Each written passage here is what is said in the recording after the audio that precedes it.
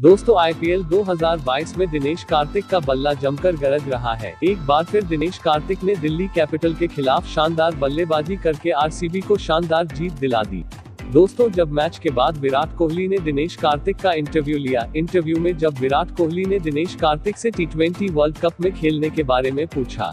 तब दिनेश कार्तिक ने कहा कि इस समय मेरा टारगेट टीम इंडिया में वापसी करने को है और 2022 के टी वर्ल्ड कप में भारत के लिए रिप्रेजेंट करना है। इसके लिए मैंने जमकर तैयारी की है, जिसका रिज़ल्ट आईपीएल में दिखाई दे रहा है। वैसे दोस्तों, आपको क्या लगता है दिनेश कार्तिक का 2022 के टी वर्ल्ड कप टीम में होना चाहिए या नहीं? कमेंट सेक्शन में कमेंट करके ज़रूर बताइएगा